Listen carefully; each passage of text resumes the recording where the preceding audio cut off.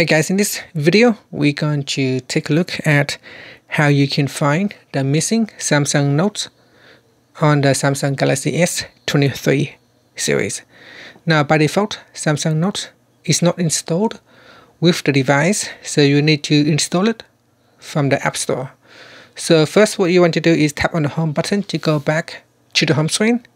Either from the home screen, tap on Play Store, or in the app screen, tap on Play Store in here, you want to search for the app, so tap, uh, tap on the search button at the top and then put in the keyword Samsung Notes. And the phone will try to search for the app.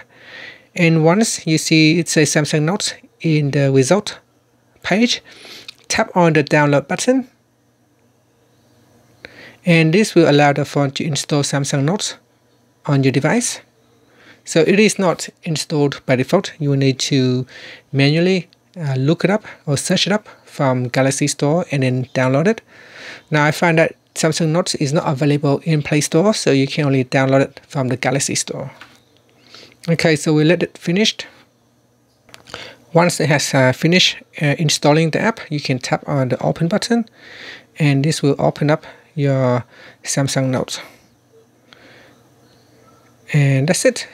Now another uh, things that can cause the Samsung Notes to go missing is the um, the hidden uh, feature.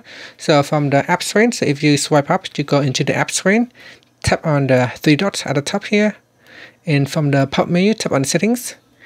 In the home screen settings you want to go down and there is a hidden uh, section, uh, section. So let's say hide apps. So here, hide apps on home and apps screens. And then make sure uh, Samsung Note is not set to hidden. So here you can see if I add it to the top, it is now a hidden apps. So if I go into the apps uh, screen here, if I try to look for notes, it will not be available. I will not be able to locate it in here at all. It is nowhere to be found. So what you can do is go into settings and then go down and tap on hide apps on home and apps screen. And then remove the Samsung Notes from the hidden apps section and then tap on done. And now it becomes available in here again Samsung Notes. Alright another thing is sometimes it may be uh, move. You might have accidentally moved it into one of the folders in here. So you want to maybe go through the folders and see if you can find it or you can use the search bar at the top and type in notes and that should allow you to find Samsung Notes. And that's it. Thank you for watching this video. Please subscribe to my channel for more videos.